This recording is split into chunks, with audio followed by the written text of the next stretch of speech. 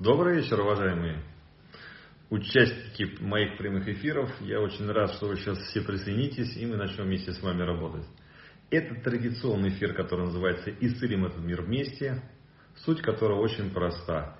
Я тех, кто подал заявку на участие, кто выполнил все условия, беру э, в свой диалог и даю ему консультацию.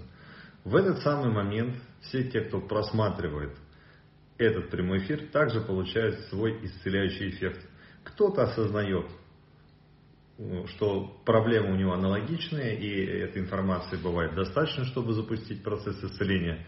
Кто-то осознает э, еще более глубинные вещи, которые даже э, у некоторых людей могут э, осознавания происходить после эфира, после, во время сновидения, в течение недели очень много разных вариантов бывает, какой процесс запускается в процессе моих прямых эфиров. Добрый вечер, добрый вечер. Сейчас я жду, когда нас, нас будет все больше и больше. Потом выберу первого героя и начнем работать.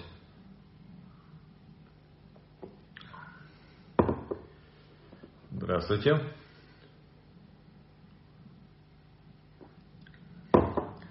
Потом э, с первым героем поработаем, расскажу, что нас ожидает в ближайшее время, какие новости. Поэтому, если вы выполнили все условия, вы попадаете в мой список. Сегодня опять человек 20 я добавил. Поэтому у нас все больше и больше. На данный момент времени, сейчас скажу точную цифру, 1082 человека находятся в моем списке. А, какую-то часть э, этих людей я уже проконсультировал. Все те, кто в последнее время, за последние 3-4 месяца получали мои консультации, я их обозначаю, поэтому больше второй раз я брать людей не буду, потому что очередь очень большая и э, хочется дать дорогу новичкам. Многим хочу сказать, конечно же, одной консультации для человека бывает недостаточно. И э, все, что мы можем сделать в тяжелых случаях, это направить человека, дать ему импульс, объяснить, что нужно делать в его случае, для того, чтобы его жизнь поменялась, его здоровье стало бы лучше. Напоминаю, что э, этот э, эфир посвящен психосоматике. Мы здесь работаем с психосоматическими состояниями, мы работаем с внутренними заболеваниями, симптомами, с эмоциональными расстройствами. И э, параллельно я отвечаю на все ваши вопросы, которые возникают, если успеваю. Но тем не менее стараюсь это делать. А второй эфир, который также благотворительный проходит, «Сила безусловной любви», может быть, может быть, будет в следующую среду, но позже, в 10, в 10.30 по московскому времени вечера, то есть 22-22.30 это позже.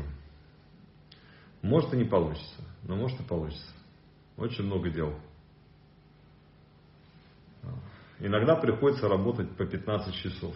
То есть я прихожу в клинику в 9 утра, в 10 и выхожу оттуда в час, в 2 ночи. Вот такая сейчас у меня реальность. В выходные стараюсь сейчас отдыхать, заниматься творческими делами и семьей. А так работы очень-очень много. Некоторым приходится месяц, а то и больше ждать, даже если очень срочно нужно, чтобы попасть ко мне на прием. А некоторым даже больше. Кто-то уже на декабрь записывается, кто планирует быть в Москве и кому интересно лично пообщаться. Кто-то уже просится в Америке на прием. В конце, вернее, в начале января я планирую улететь в Америку, и, соответственно, в США тоже такие вещи возможны. Так, делал медитацию, пропустила пару дней с ребенком, неудобно было слушать. В целом все уже хорошо, в левой груди какой-то менопаузу. Так, сейчас дочитаю ваш вопрос. Что это? Но в целом уже хожу, только вот в левой груди какое-то уплотнение появилось и болит, но уже захожу менопаузу. Что это? Значит, ну тогда, во-первых, сходите к врачу, во-вторых, скорее всего, когда человек начинает заниматься практикой медитации, у него открывается чувствительность, он начинает на свое тело обращать внимание до этого было не до, не до, не до, не до тела. Многие люди даже не чувствуют свое тело. То есть настолько в голове живут, что ощущений даже никаких нет. И поэтому какие-то открытия вдруг у них возник, возникают, что что-то где-то не так в теле. Если у меня ученики, люди, которые проходят мои курсы, гипотетически можно их назвать учениками. Э, есть люди, э, коллеги, которые работают в моей команде, врачи, психологи, это мои коллеги. Я планирую, конечно, сделать более широкую э, образовательную программу. И в конце ноября стартует этот сезон в Московском институте психоанализа. Потом дальше будет следующий курс по работе с психосоматикой силы рода, работа с родовой энергией, с памятью рода, как к подходить, что там надо сделать для того, чтобы с этим разбираться. Потом сразу за моим курсом в конце декабря будет курс у Александры, а, посвященный работе с психосоматикой, работы с телом. Тоже наш образовательный маршрут начнется. Ну и будут еще интересные объявления. Я вообще планирую институт открыть э, психосоматики в Москве, поэтому образование будет иметь и э, мы будем осуществлять под лицензией. Но это к концу года будет точно известно. Скорее всего, это э, именно в этом году произойдет. И, э, соответственно, все, кто будут проходить потом мои курсы образовательные, будут получать документы от государственного образца. Так. так что вот такие новости. Потом еще раз повторю повнимательнее.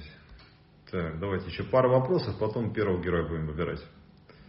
А в Штатах я буду в Майами. Так, почему медитация не действует у меня? Надежда, что именно происходит? Вы не можете отключиться, вас одолевают какие-то мысли, либо вы можете сосредоточиться на процессе, но ничего не чувствуете. Очень много разных аспектов существует, почему медитация, как человеку кажется, может не работать. Есть люди, у которых есть расстройство сна, и они думают, что они вообще не спят. На самом деле они спят, но только очень мало. И даже этих часов хватает, чтобы как-то немножко им выспаться. Поэтому здесь надо верифицировать, что с вами на самом деле происходит а потом будет понятно, что с этим делать. Тем, как принять какое-то решение, сделать звонок, даже во время медитации, я не могу сделать вдохи, я начинаю задыхаться. Это психосоматика, да, невроз какой-то, связанный, видите, вы должны кому-то позвонить, есть какая-то ответственность, а, и это включает просто реагирование на эту ситуацию. Поэтому, когда вы осознаете, с чем это связано, все будет работать. Так. Так, посмотрим. Ой-ой, уже вопросов очень много. Очень много. Так, давайте так. Жду год. Во. Давайте сейчас я проверим. Надя, если вы есть, тогда вы будете первые. То есть я старичкам, кто ждет давно, даю приоритет. Так, Нади. Сейчас Герман, давайте посмотрим. Да, вы есть. 626. Все правильно, где-то примерно там. Сейчас я помечу, что я вас выбрал. Надеюсь, у вас прекрасно все с интернетом. И начнем с, вами, с вас работать. Сегодня вы будете первым героем. Так, пока ожидаем. Надеюсь, что у вас с интернетом? Когда долго в эфир человек не берет система, значит скорость интернета слабая. Да, Надя поняла. Предупреждаю всех, кто подал заявку и кто просится в эфир, у вас должна быть хорошая скорость интернета. И либо хорошая скорость сотовой, либо лучше Wi-Fi. Желательно от 30 мегабит в секунду. Лучше 50, 60, 100 вообще идеально будет. Поэтому, если скорости не хватает, взять будет человека трудно. Поэтому подойдите, найди э, к нормальному сигналу. Пробую вас еще раз здесь. К источнику интернета, чтобы скорость была большая. Можно просто программку для проверки скорости скачать и там все понять, с какой скоростью у вас интернет. И добиваться его высокой скорости, если вдруг не так. Потому что иначе не получится. Сейчас пробую вас еще раз взять. Не получится, значит не получится. Буду другого героя выбирать. А, марафон предназначения, потом расскажу, будет 20, в 20-х числах запущен. В течение недели будет а, да, Надя отклонила. Ну вот. Будем кого-то сейчас другого искать. Э, в 20 числах примерно. Так. Сразу предупреждаю, если кто-то будет матом писать, будет удален. Я не приветствую эти вещи, потому что ваш маразм другим приходится читать. Так. Просто слушал и ничего. Слушайте еще. Итак, давайте, кто у нас год еще ждет? Кто у нас год ждет? В клубе такие же закрытые эфиры, конечно, будут. И старт клуба будет 6 числа. И там будет эфир во вторник. Обязательно. Так, жду год и отклоняет. Ну, Надежда. Так, это, это вы про Надежду, я понял. Ну, отклоняет, потому что скорости не хватает. Не хватает скорости. Так. Давайте, кто у нас еще из старичков, посмотрим. Потом, если не будет старичков, будем брать тех, кто недавно. Вся дергается имитация, чешусь. Почему? Невроз есть, три бога присутствует. Так. Давайте с одним человеком поработаем, потом про клуб расскажу, в чем его особенность, что там вы можете получить. Я новичок. Давайте, сейчас жду еще. Так.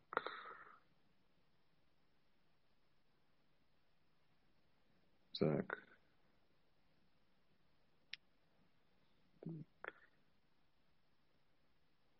Про условия напомнить.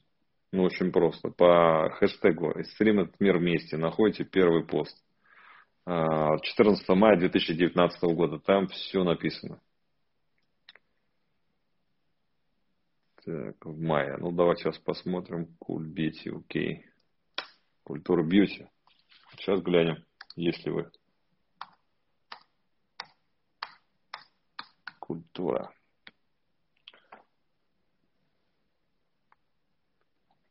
Культура. Да, есть 860 номер у вас. Давайте вас возьму. Так. Здравствуйте. Здравствуйте, Артем Олегович. Я как счастлива. Прекрасно. Меня Алла, Я тоже... Аллочка, да, Меня Алла привет. зовут. Слушаю внимательно, Алла. А, мне 41 год. Угу. Вот. И замужем я уже 5 лет. И мы с мужем никак не можем зачать детей хотя очень хотим. Так. Прошли там обследования всякие разные. В общем, а, врачи сказали, что все хорошо. Угу. И остается только... Я смотрю давно ваши эфиры и угу. понимаю, что, возможно, это уже здесь, где-то в голове. По каким-то причинам я этого не хочу, возможно, а может быть, боюсь, какие-то страхи. Угу. Ал, скажите, а дети вообще у вас есть, может, от первых отношений? Нет, у меня вообще никогда не было беременности. Не было никогда. А что коллеги mm-hmm. говорят, гинекологи? Ну, ничего. А вот в последний визит врач вообще уже говорит, что подумывать об ЭКО. В общем, угу. Угу. ну там все эндометрии, все есть, трубы проверяли, все работает. А, а партнера обследовали? Ну да, делали. Ну, правда, не такую, не обширную, там, вот как, а сделали спермограмму. Мужу 33, он молодой, у него все хорошо, спортсмен. То есть подвижность сперматозоидов хорошая? Да. Так. А он детей хочет? Да, очень хочет. Мне кажется, даже больше в какой-то момент, чем я. Потому что я до замужества, наверное, не хотела детей, об этом никогда не задумывалась. mm Такой карьерист всегда была, а сейчас mm ну, вот уже чувствую, что готова, хочу, но где-то что-то не так.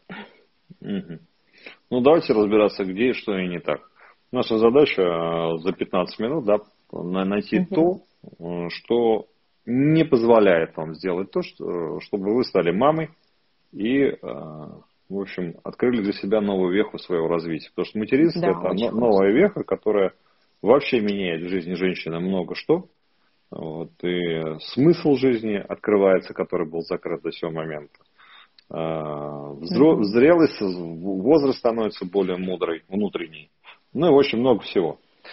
Итак, давайте поработаем. Представьте, Алла, что вы уже беременны.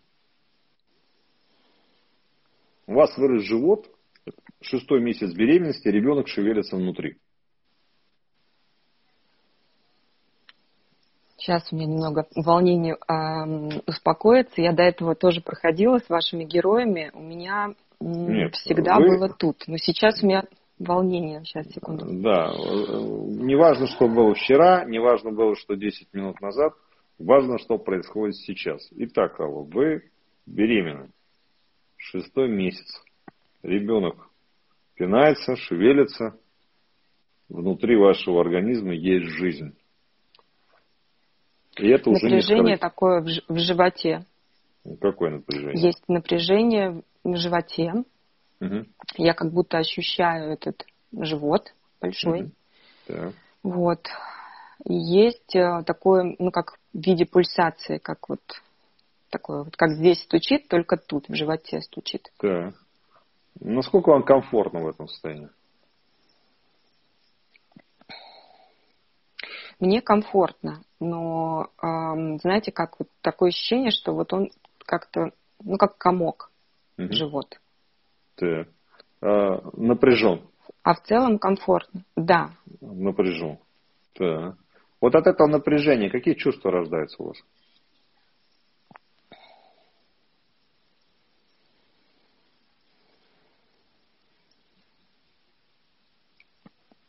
Мне кажется, что это страх. Страх за что?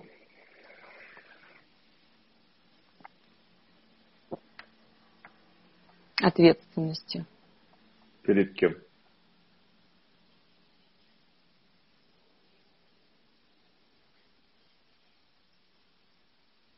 Перед э, ребенком. А, ну, давайте мы это ощущение изучим поподробнее, потому что вот это сжатие, которое вы описали, это не просто напряжение от того, что живот большой. Это несколько иное ощущение. Согласны со мной? И вот мы его возьмем сейчас за основу симптома и посмотрим, откуда нас приведет. Итак, если вы смотрели мои эфиры, работа будет очень простая. Вы концентрируетесь на этом ощущении, которое вас поддавливает. Мы пойдем в ваше прошлое посмотрим, откуда ноги растут этого чувства. Итак, скажите себе, мне 30 лет. Есть это ощущение в вашем теле? Или нет? Мне 30 лет. Да, есть или нет? Да, есть. Мне 20 лет.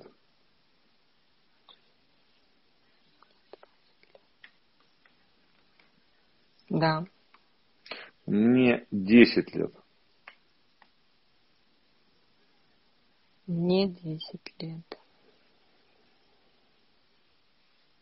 Да, внизу теперь. Мне один год.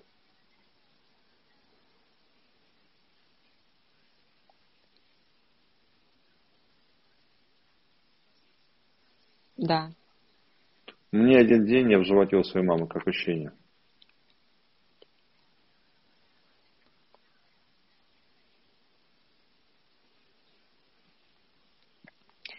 Спокойнее, но есть все равно внизу. Сколько процентов осталось от того, что было?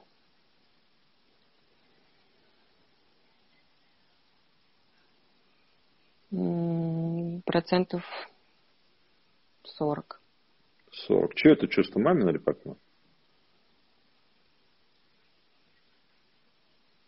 Мамина. Маму как зовут? Светлана. Сколько было Свете лет, когда она вас родила? Двадцать восемь. Я мама Света, мне 28 лет. Как ощущение?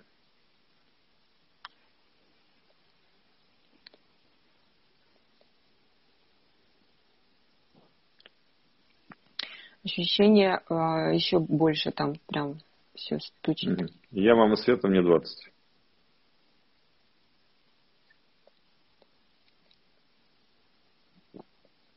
Нарастает. 10 лет.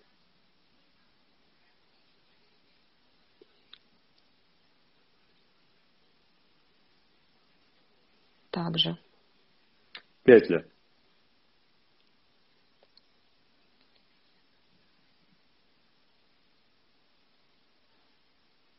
Меньше. Один год.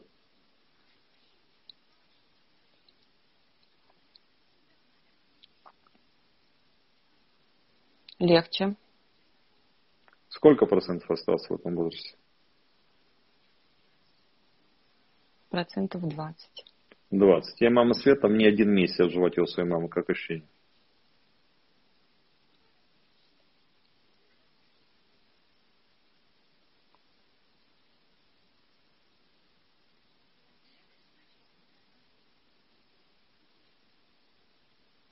Меньше. Но еще есть. Еще. У меня мама Света, мне один день в животе у своей мамы, как ощущение?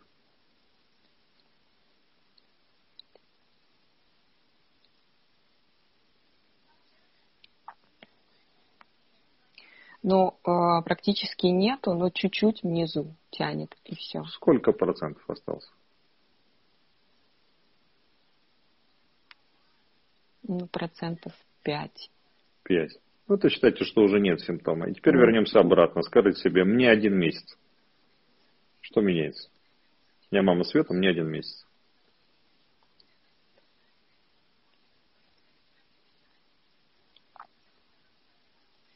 Также. Также 5%? Да. Три месяца.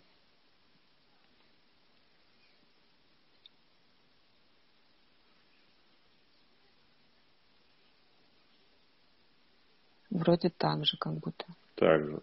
Пять месяцев. Я мама Света пять месяцев.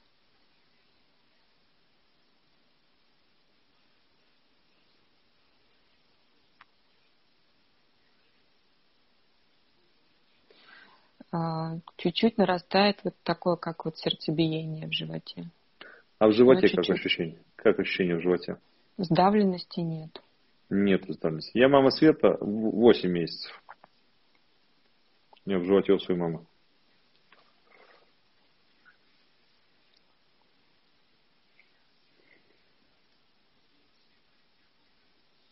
Также. Я мама Света, мне 9 месяцев в животе у мамы. Как ощущение?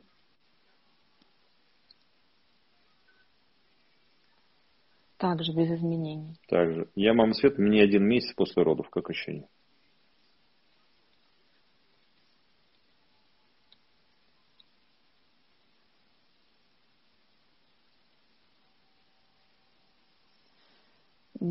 Также без изменений. Также. Я мама Света, мне пять месяцев. Пять лет после родов. Как ощущение?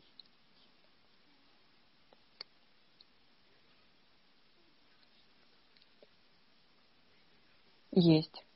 Есть. Появляется. Появляется. Угу. Три года. Я мама Света, мне три года.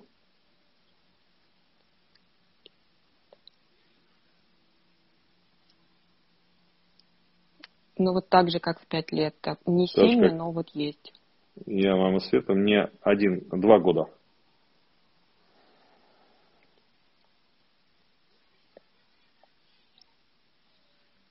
Как ощущение? Внизу, внизу живота, да, вот есть. Такой ну, же ощущение? Так же, как и в пять, да. Так же, как в пять. Один год теперь снова.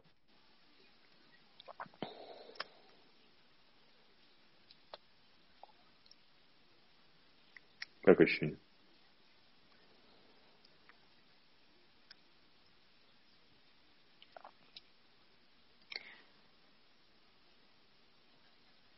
Как будто меньше. Меньше становится. А, что вот происходит в жизни вашей мамы, когда ее возраст меняется с одного года на два в этом промежутке? Что связано с усилением этого чувства в животе?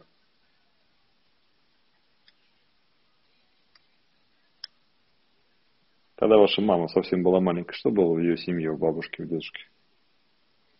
Что повлияло на возникновение этого ощущения и влияет на вашу жизнь? Ну, мне вот кажется, как будто переезд какой-то. Какой переезд и куда? Что мама о своем детстве рассказывала вам? Ну, она рассказывала, что она до трех лет не ходила.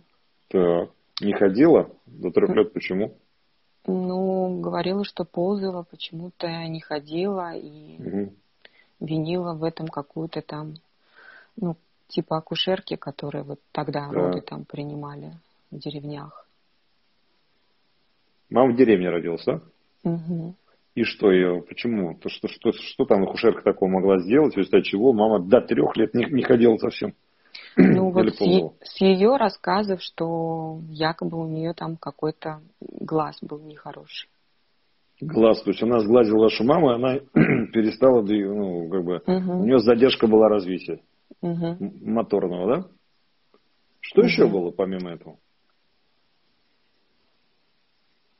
Как бабушка ваша говорила вашей маме о том детском периоде, когда ваша мама только родилась?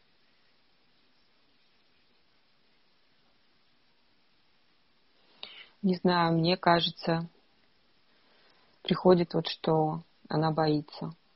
Боится что? Рожать? Мама у вас первый ребенок у бабушки? Нет, а мама пятый ребенок. Пятый а... даже ребенок. Так. А первый ребенок, ее тоже звали Алла, она умерла. Так. А что умерла? В каком возрасте? Ну, вроде как от голода. Ну, там это война была. Угу. Мама какого года рождения? Вроде как от 51-го. 51-го года. Угу. До нее там кто? Брат, сестра перед этим? До нее сестра. 49-го, кажется, года. 49-го года. То есть два года разницы. Вы... Бабушка жива ваша? Нет. Мамы нет. тоже нет. Мамы тоже нет. Что с мамой произошло? Рак синхронный. Что значит синхронный? Это что такое? Желудок и кишка. А, то есть ну, в двух органах сразу. Угу. Угу. Так. Бабушку вы застали? Да, я в детстве часто у нее была, каждое лето. И что вот про вашу маму бабушка рассказывала? Про ее детство. Как они жили, что там было? И зачем вас Аллой назвали? Второй вопрос. Ну, бабушка попросила маму. Зачем? Папа хотел Машей назвать. Так, а зачем бабушка попросила маму, и э, мама назвала вас Аллой? Ну, мама, э, потому что бабушка попросила, ей уступила. Зачем бабушка попросила? Я вас буду мучить, Алла, до тех пор, пока мы не Я найдем не. Ну, давайте предположим. Я вы все знаю. это знаете. Поймите, все тайны своего рода вы содержите в своем подсознании. Все те хитросплетения, которые были на тот момент времени, да, я вам задаю вот такие вопросы, они угу. проливают свет на эмоции, связанные с деторождением. Понимаете, да? То есть вы здоровая женщина, но у вас вариант психологического бесплодия. По порядка 20-30% угу. женщин, которые не могут зачать ребенка, мучаются именно им. А это всегда связано с эмоциональными запретами. То есть, когда а, беременность ассоциируется с чем-то нехорошим. Вот с чем нехорошим мы пытаемся вместе с вами понять. И понятно, что это а, родом а, из детства вашей мамы. Я вообще думала, что это родом из а, моих родов, потому что мама, когда меня родила, ее бабушка бросила, не поддержала. То есть эм, это то, что я знаю, то, что мама рассказывала. Ну, как она могла ее бросить, родила... если, смотрите, как она могла ее бросить, если вас назвали Аллой, потому что попросила вашу бабушку? Что значит бросил? Ну, потому что огор... огород начался, и она уехала к себе а, в деревню, в этом плане, а мама выбежала. Ага, в этом плане. Да, mm-hmm. а мама, ну, ей нужно было на работу, и, в общем, в итоге она, ну, мне там полетела карьера, и mm-hmm. она пошла работать дворником.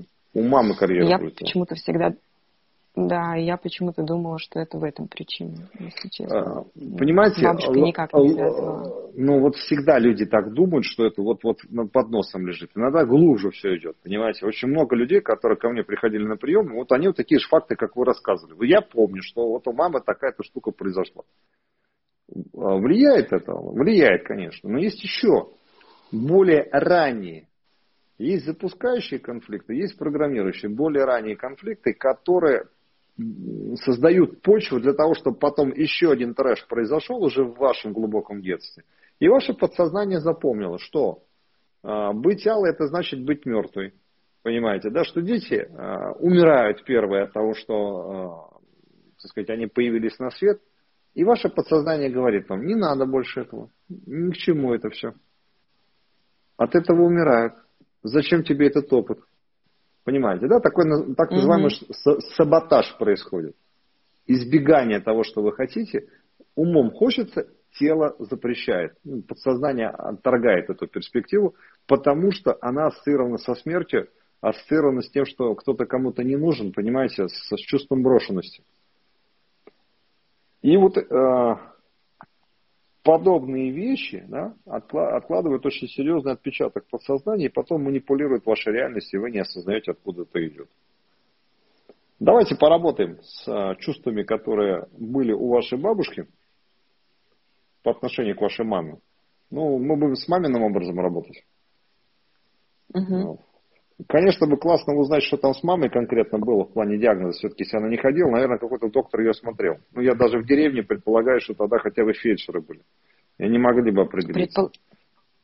Ну, мама говорила, что никак там это все не обследовалось. В общем, они там жили. Ну, а потом, когда мама была взрослой, это уже никак не сказывалось, да? На ее опорно-двигательном аппарате. Она хорошо ходила, без всяких проблем. Нет, у нее всегда вот эта сторона, как она объясняла, по-моему, правая, да. всегда э, как бы вот давала себе знать, то бок болит, то она чуть-чуть потом, когда уже в возрасте была, ну, прихрамывала на эту ногу. Угу. И всегда она это связывала именно с этим моментом. Угу. Почему я, собственно говоря, так и запомнила. Так. Ну, это, понимаете, можно придумать все, все что угодно, и когда человек верит, что вот это было так, то он таким образом сам себя программирует, чтобы эта проблема существовала. Тело постоянно у человека обновляется, клетки новые восстанавливаются, клетки мозга тоже обновляются. То есть нервные клетки у человека восстанавливаются. Конечно, чуть дольше, чем кровь и кожа. Но они тоже восстанавливаются. Но это много лет должно пройти. А если человек верит в то, что его там сглазили и это навсегда – то значит эта программа и будет управлять его физическим здоровьем. Окей, давайте, Ал, поработаем с этой историей. Скажите себе, я мама Света, мне один день, а в животе у своей мамы. Как ощущение?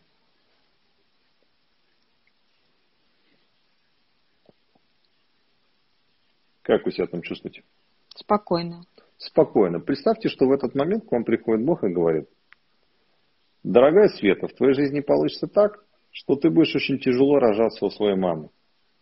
И мама будет думать о том, что акушерка, которая будет принимать роды, сглазит ее и тебя.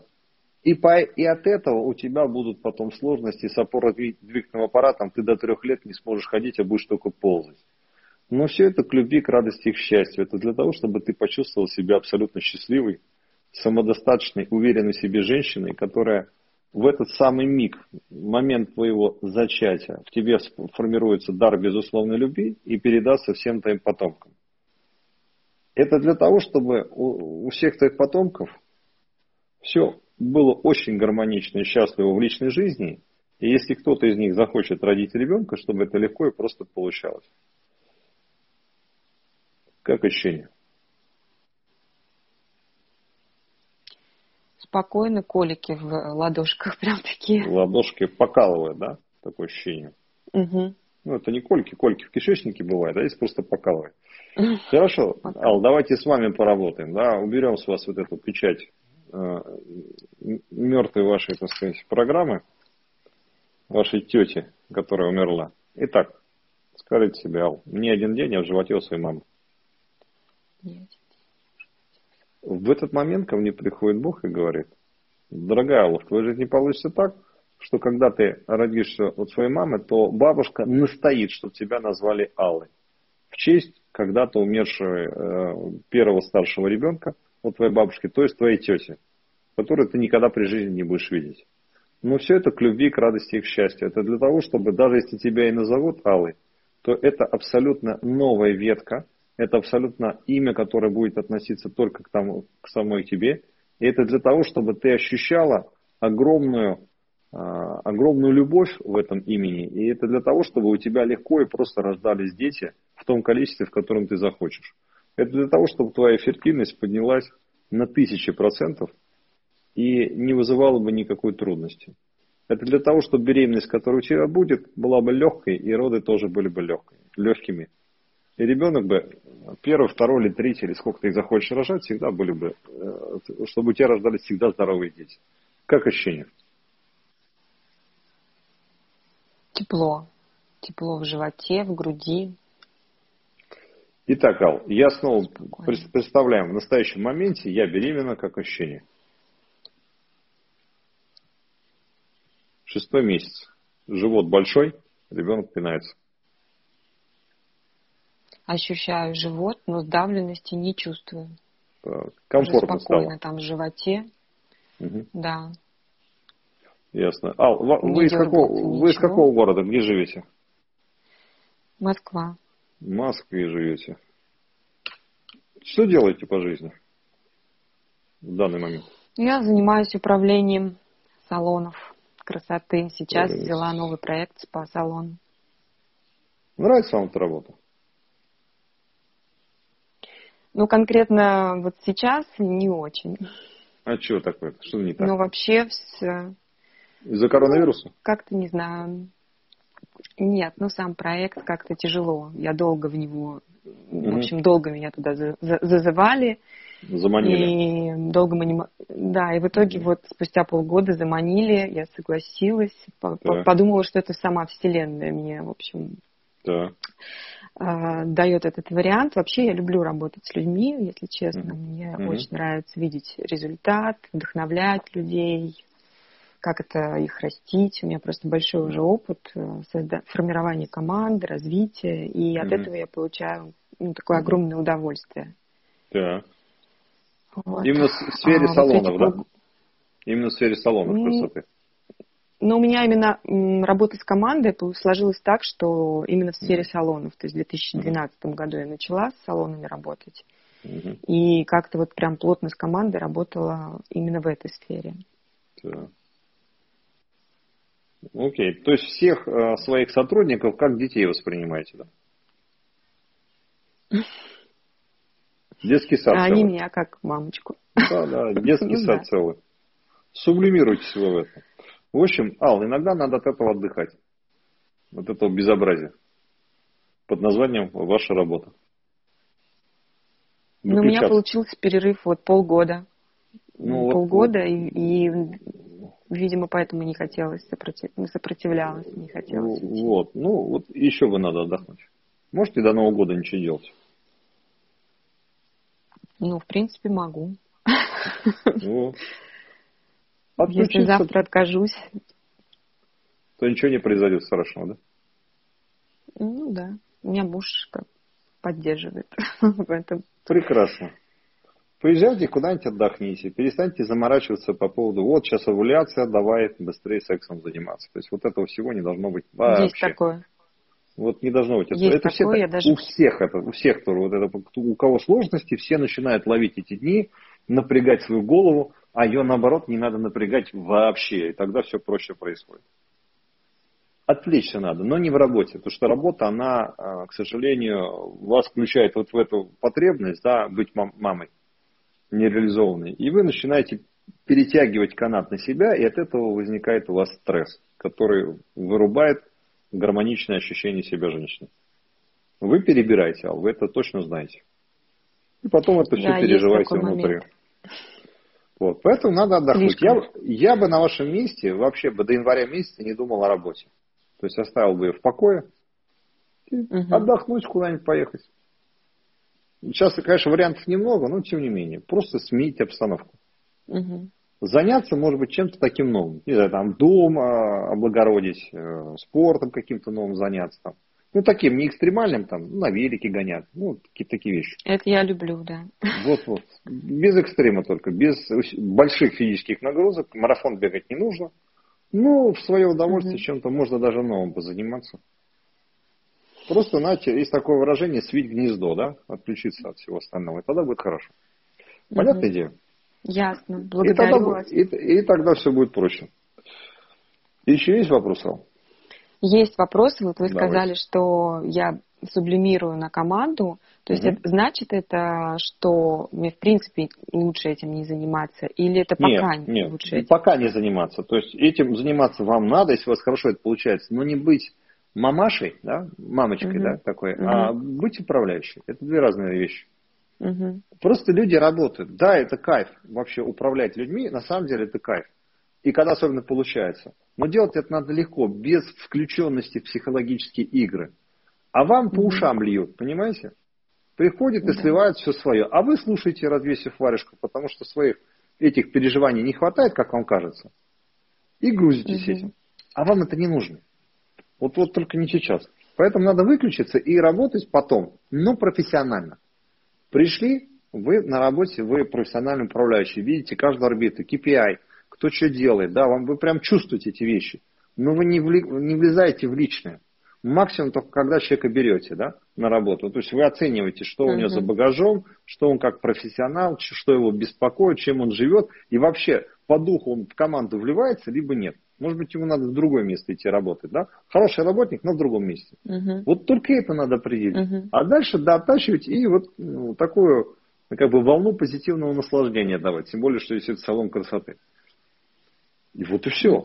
Ну, не надо ввергаться, питаться, вот там то, пятое, десятое и так далее. Вы, конечно, слухи не очень любите, да, вы не такой человек, то есть не любите в отрицательных эмоциях жить. Но люди на вас вешают свою лапшу. К сожалению. Ясно, да. Я а вам нравится, к сожалению. А, вы, а вы поддаете. И хочется попереживать. Вы же такая хорошенькая, как они говорят, да? Слили хочется и пошли. помочь сразу. Хочется сразу спасать и помогать. Спасать никого не надо. Спасение утопающих – дело рук самих утопающих. Вот и все. Вы можете дать грамотный совет. Ну и то надо понимать, что какое, а, сколько времени вы на это тратите. Если это слишком много, вас там на час, на полтора засасывает, то это уже психотерапия, за которую люди должны деньги платить. И это нормально будет. Понятно? Угу. Вот так, Алла. Поэтому Ясно. мы все Хорошо, пожелаем вам удачи, легкого вам зачатия, да, ну, отключитесь от того, что Спасибо у вас сейчас происходит, большое. потому что ну, это не совсем то, что вам надо. Вам надо гнездышко свивать. То есть вот в квартире что-нибудь там, перестановку делать, может ремонт не какой-то, да, что-нибудь, угу. дачу куп, облагоройтесь, она у вас есть. Вот этим угу. надо заниматься. А не разбазаривать себя, даже, может быть, и профессионально, но то, что вам сейчас противопоказано. Поняла, Артем Олегович, да. благодарю, я счастлива. Да. Знакомству. Спасибо вам большое. Да. Удачи, Пока. да, счастливо. Пока. До свидания. Все, друзья, идем дальше. Так, включаем комментарии. Я их выключил, выключил на момент. Давайте, может, парочку вопросов, потом еще героя возьмем. Сколько у нас там? 29 заявок, 31 даже. Ух ты, как много. Так, ну все, кто хотел, то у нас уже подключился. Давайте тогда расскажу то, что в ближайшее время будет. Значит, 6 октября стартует клуб. Что такое клуб? Клуб – это три месяца, во время которых раз в неделю вы будете получать лекцию либо от меня, либо от моих коллег, а, психологов, врачей клиники Новита, где мы будем освещать различные темы, различные аспекты, связанные с психосоматикой, со здоровьем вообще и с психологией.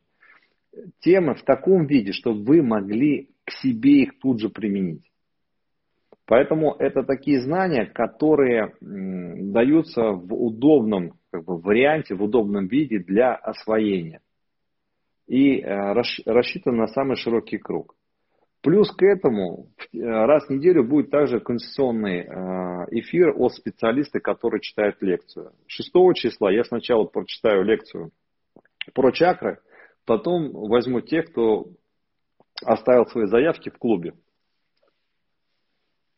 И вот по традиции я начинаю всегда а, сезон клуба и по традиции часто его и завершаю. То есть к Новому году там, может быть, моя еще лекция будет. Сейчас пока программа до конца не сформирована, но на первый месяц, полтора она уже есть.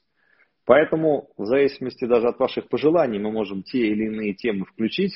А, и клуб это всегда живой диалог. Плюс есть отдельный чат, в котором идут живые обсуждения – деление впечатлениями и, собственно, группа поддержки друг другом сосуществует. Некоторые чаты с, со старых клубов до сих пор существуют, до сих пор там люди общаются, поддерживают друг другу. И это очень хорошо. Записи, конечно же, лекции есть, и все те, кто а, не вовремя, допустим, посмотрел, не было такой возможности в прямом эфире присутствовать, потому что все живут в разных часовых поясах, то можно смотреть записи, тогда, когда вам э, удобно. И сейчас еще, кстати, для тех, кто хочет получить представление, что такое клуб, э, доступны записи предыдущих сезонов. Вы можете купить либо первого, либо второго, либо третьего сезона, либо все вместе – и посмотреть. Список тем там тоже можно посмотреть, какие в этом сезоне были. Они никогда не повторяются. Каждый раз что-нибудь новенькое. Поэтому по ссылке шапки аккаунта в, в, моем, в моем аккаунте, по ссылке по активной втоплинке вы найдете. Всю информацию можете приобрести. Вот. Также а, в октябре я планирую провести марафон по предназначению. Скоро будет анонс. И как я обещал, первая неделя будет в дар для всех желающих, поэтому у нас будет очень много народу. И если вам это зайдет, если вы поймете, что тот алгоритм, который я использую, он вам подходит, а мои тренинги не похожи ни на одни другие, и тем более этот тренинг будет совершенно другой, абсолютно другой. Там будут абсолютно новые медитации, их будет четыре, как и четыре э, основных недели – и эта тема будет мной раскрываться с разных аспектов. Поэтому это такой динамичный марафон. Неделю будет две, а может быть и три занятия. Посмотрим, как будет ложиться. И таким образом все, кто мечтал а, раскрыть свое предназначение, понять, что это такое, будут достигать этого эффекта. Вот. Ну и те, кто хотят пройти у меня обучение, чтобы вы разбирались в психосоматике, если вы кому-то хотите помочь, если вы врач, если вы психолог, либо вы просто хотите углубить свои знания, то тренинг будет в конце ноября в Московском институте психоанализа. После этого, в начале декабря, будет э, тренинг психосоматика родовых связей – Ссылка на него есть э, либо в топлинке сверху в шапке моего аккаунта, либо, либо на сайте talakonin.com. Заходите, и уже весь анонс там есть, вы можете, так сказать, на него уже зарегистрироваться. И после этого тренинга будет тренинг Александры, который посвящен работе с телом, психосоматике базовый уровень. Базовый уровень. Поэтому сезон обучения стартует с конца ноября, с 21 числа в Москве.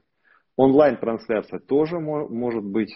Ну, то есть, если вы не можете в Москве оказаться, но очень хотите послушать курс, у вас такая возможность есть. Тогда вы будете в чате, и во время трансляции мне за кадром будут сообщать, если какие-то вопросы будут, я на них буду отвечать. Вот, в общем-то, все отлично. И то же самое обучение а, психосоматика родовых связей, тоже будет трансляция. И если вы в Москве не можете оказаться, то такая возможность быть участником у вас всегда есть. А еще у меня прошла аллергия на шоколад благодаря медитации прощения. Замечательно, Радмил. И на, и медитация прощения очень доступный и универсальный инструмент. Просто некоторые попробуют один, два, три раза, может быть месяц, потом бросают, ничего в жизни не меняется, как они говорят. А, которые на Кутузовском, Московский институт психоанализа и думают, что ничего им помочь не может. То есть люди опять закольцовываются в свой привычный мир. А на самом деле, чтобы пошли изменения, требуются систематические усилия. Так, а будет с чатом марафон обязательно по, по предназначению. Так. Ну что, давайте следующего героя выбирать. Потом на вопрос еще поотвечаем. Кто у нас с того года? Так, кто с того года? Про ревность это все в другом эфире, где мы разбираем проблемы личной жизни. На медитации прощения хочется просить прощения, не прощать. Это синдром жертвы у вас работает. Он вами манипулирует. Когда человек себя воспринимает рабом Божьим, и он считает, что он виноват перед всеми, вы закрепляете этот рефлекс.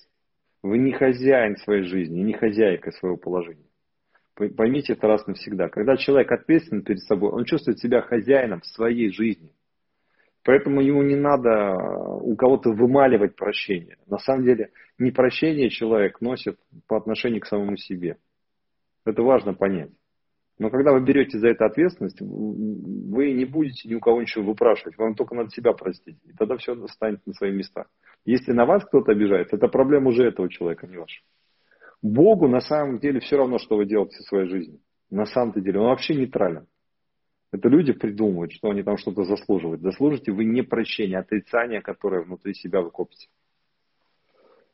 Так, я давно жду. Давайте проверим. Дава, что-то знакомый ник.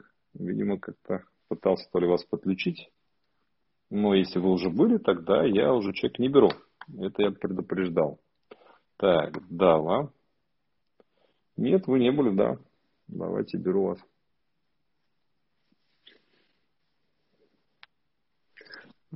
Все, кому хочется попросить, всех приучили. Здрасте. Здрасте. Очень как рада, что попала, Дарья.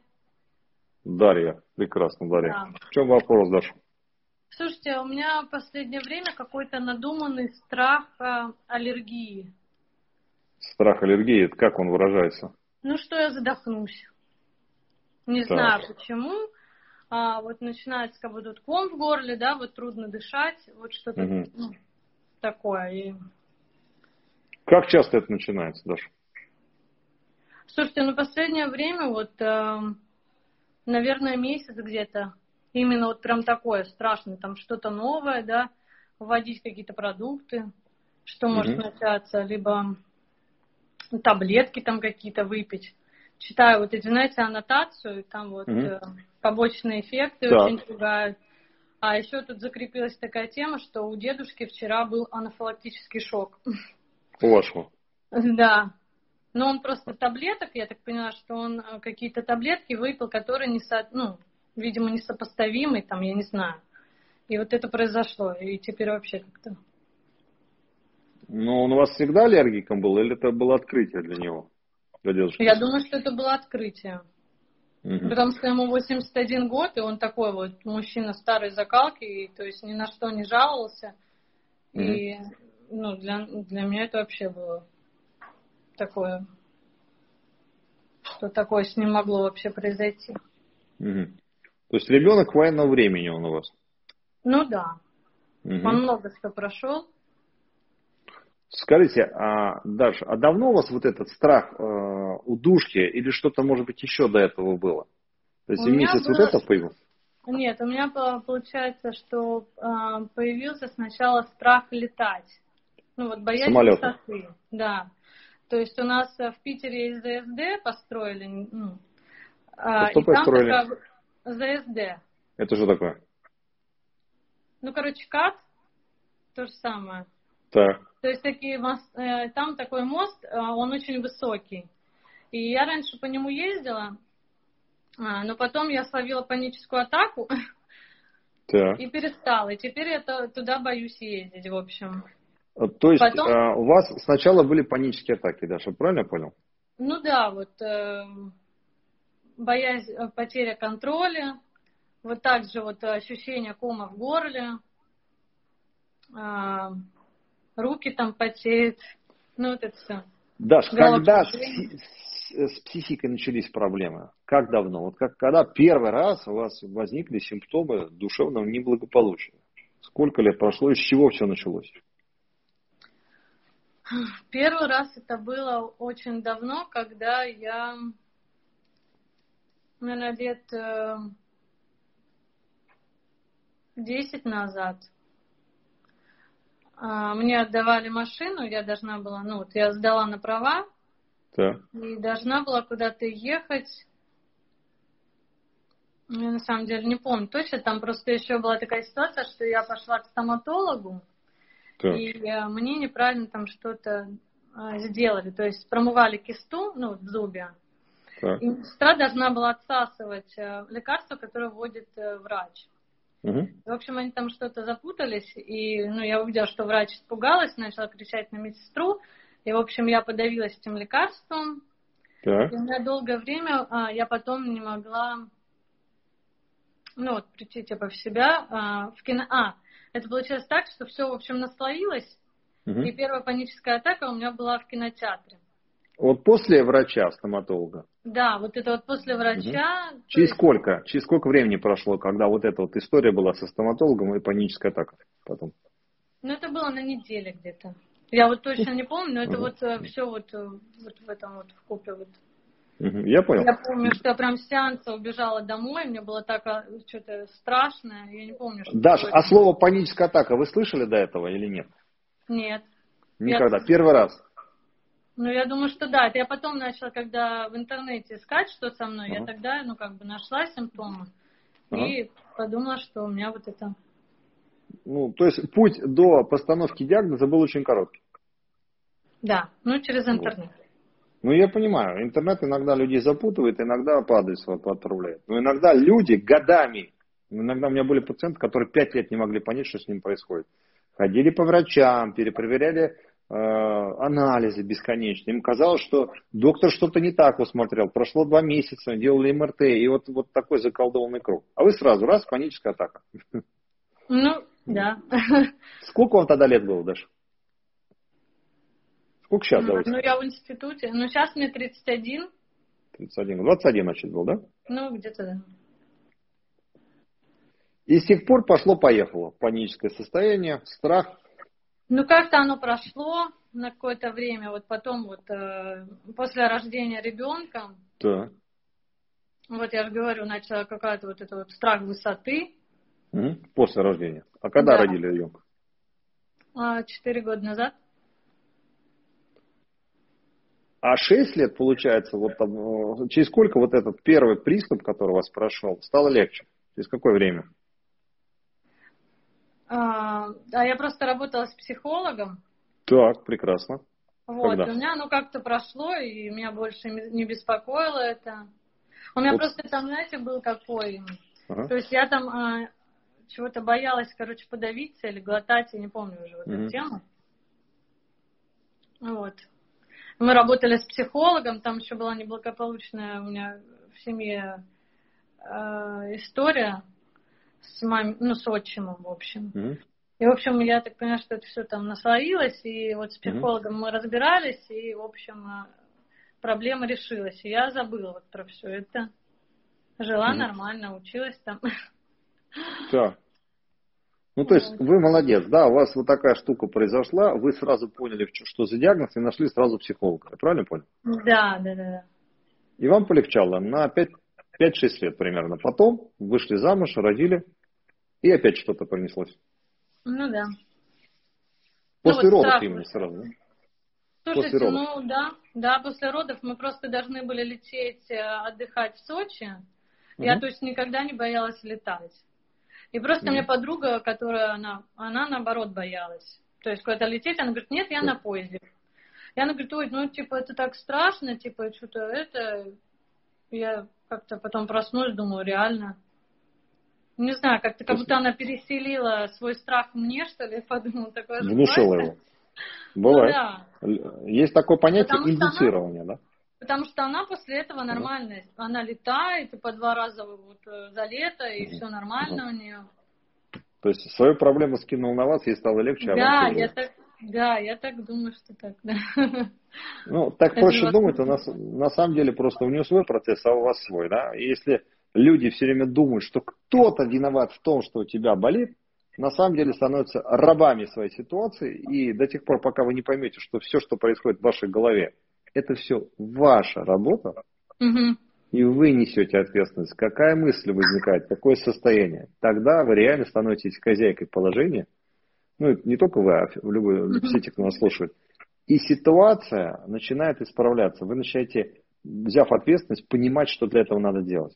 А когда ты хочешь скинуть ответственность на соседа, психотерапевта, еще на кого-нибудь, на маму, да, что кто-то виноват в том, что тебе плохо. Ничего тотального, глобального происходить не будет. Ты снова и снова будешь спотыкаться на эти трудности до тех пор, пока не, не начнешь с собой серьезно работать и относиться с ответственностью перед этим. Если у человека пришли проблемы, значит он их в состоянии исправить. Этот урок именно ему прилетел. Именно ему нужен для становления его личности, для развития его ситуации. Ну как же справиться? Как справиться? Сейчас я вам немного помогу, да, но еще раз говорю, чувство хозяйки положения, да, это фундамент для того, чтобы стать собой. Угу.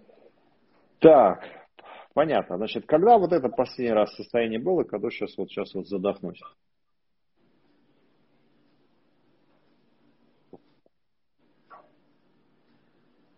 Но оно не прям вот задохнусь, а просто чувствую, что ком, да, вот в горле. Неприятно. А на самолете mm-hmm. когда последний раз летали? А, год назад. Ну, вот 7 год лет. Назад. Как, как леталось?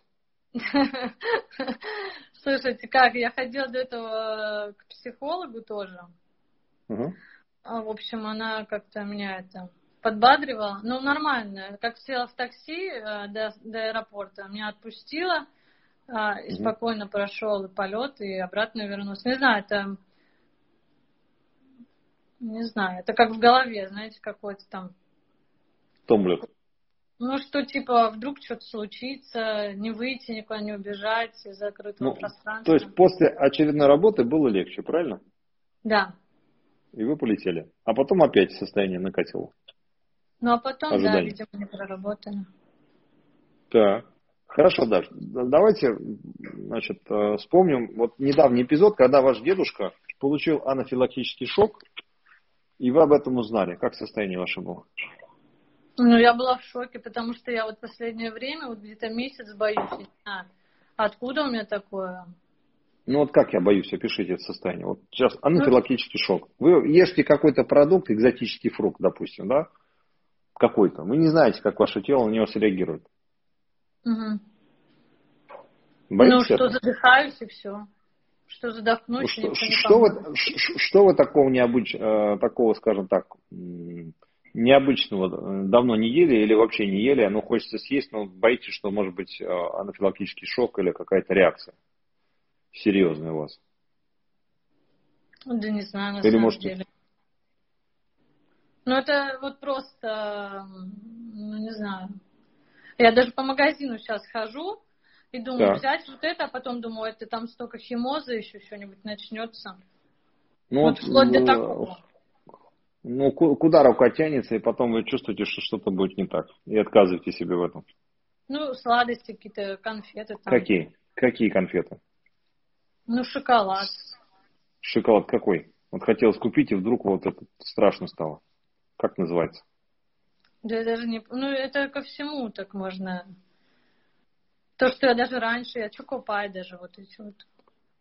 Хорошо, вот представьте, что, да, химозное вот это вот, там, чокопай или как, да, вот представьте, да, вот, вот вы сейчас его, вот, подходите, вы сейчас в магазине, берете с полки чокопай и представляете, что вы его скоро распечатаете после того, как, как его купите, и будете есть. Как ощущение? А я, кстати, сегодня на работе его съела. О, видите, и как нормально прошло? Да. Не канает. Да, подожди. Неудачный пример, да. Ну да. вот от, от чего сейчас вот есть страх, от какого продукта, да, что... Ну, от рыба, например, рыба. Рыба. От рыба. какой рыбы, как вам кажется, может быть, это произойдет? Ну, какая-нибудь там экзотическая, ну, вот необычная. Ну, форель там нет?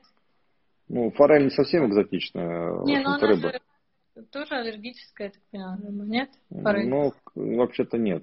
Я бы не слышал, что она... Не, есть люди, у которых на рыбу аллергии. Вот есть конкретно, да, аллергики, у них рыба это вызывает вообще. Есть Или о, орехи. Орехи, вот, например. Вам кажется, что от орехов у вас будет удушье? Да. От грецких или от миндаля? Вот от миндаля. Я не брала миндаля. печенье с миндалем, там было какие-то, да, отказалась. Так, представьте, что представьте, что вы купили миндаль и начинаете его грызть. Как ощущение? Ну, напряженно. Как это напряжение вы чувствуете? Ну, не хочется есть. Ну, вот ну вы, страшно от... как-то. Вот вы откусили. Как страшно? Ну, пока не страшно, если откусила, жду. Что Жуете. Произойдет. Что дальше? Ну так, нервно становится. Где нервно? В каком месте тела? Ну, вот в горле. В вот горле. Ком. И, итак, Даша, вот на этом, на этот ком сконцентрируйтесь, пожалуйста. Угу. Пойдемте в прошлое, посмотрим, откуда этот ком у вас на самом деле образовался. Скажите себе, мне 30 лет. Есть это ощущение? Мне 30 лет. Да, есть. Мне 20 лет. Да, есть. Мне 10 лет. Ну, ну, вроде нету. Пропало. Полегче, как будто, да. Мне 15 лет. Вот появилась сейчас. Появилась. Мне 13. Нету. 14 лет. Ну вот, да, да. Появляется. Угу. Что такого в 14 лет произошло, в результате чего это ощущение у вас появилось? Вам 14, и вы это чувствуете. Что происходит в этот момент? А я не помню. Вам 14, вы это чувствуете. Что, где в этот момент вы находитесь? И что происходит? Ну, дома скандал у родителей. Так, из-за чего? А, ну, папа... Папа что-то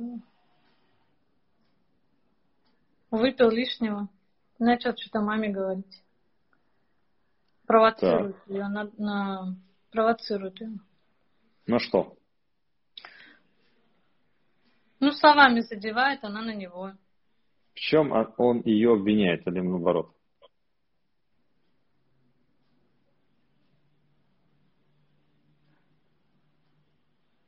Ну что он деньги, что-то с деньгами. Что деньги?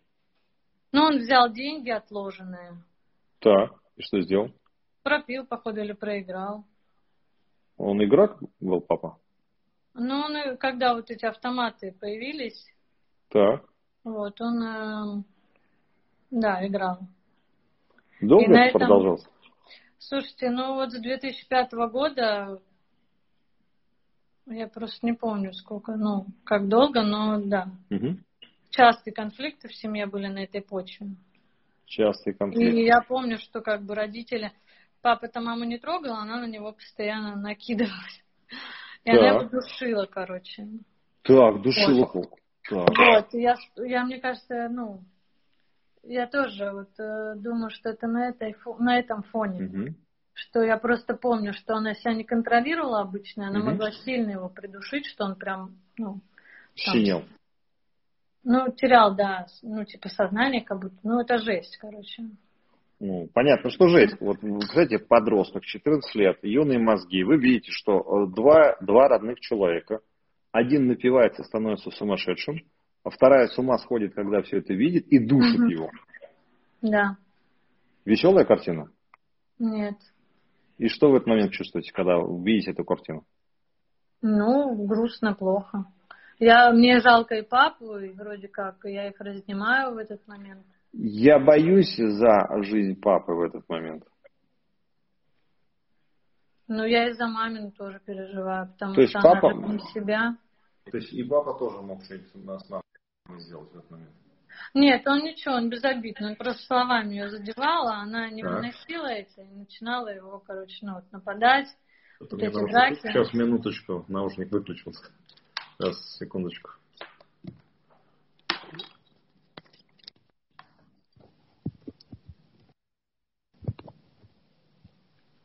Так, слышно? Да. О, все, даже, даже лучше. А, вы одна у родителей? Нет, у меня еще брат э, на пять лет младше меня. Он влезал в эти драки? Да, он тоже присутствовал при них. Сколько, ну, как... сколько эти разборки, какой период был, длились? Ну, долго. Ну, сколько? После вот 2006 года. Пятого, вернее. Ну, где-то пять, наверное, лет. Лет пять. Примерно, да. И у меня еще, знаете, такой вот как бы эм, ну, вот не часто, а вот когда накатывает такое, что вот страх вечером. Так. И вот я заметила, вот я сейчас просто, когда ну. анализирую, это ну. же все случалось вечером, когда, угу. он приходил, когда они приходили с работы, и вот угу. эти разборки вечером начинались. И мне вот просто страшно, что вечер, как будто вот что-то должно случиться, угу. Что-то может случиться вечером. Ну, теперь понятно, что вы до сих пор в этом страхе живете. Да, ну вот, а почему оно активизировалось только вот сейчас? Ну, потому что вы с этим не работали. Во-вторых, второй очень важный момент. Вы вышли замуж, ста, mm-hmm. сами стали взрослые, и у вас родился ребенок. Поэтому а, весь типа, сюр, который ассоциирован с семьей, он стал в вашей голове снова прокручиваться. То есть, когда а, женщина выходит замуж, у нее включается программа материнского ощущения себя угу. замужней женщиной.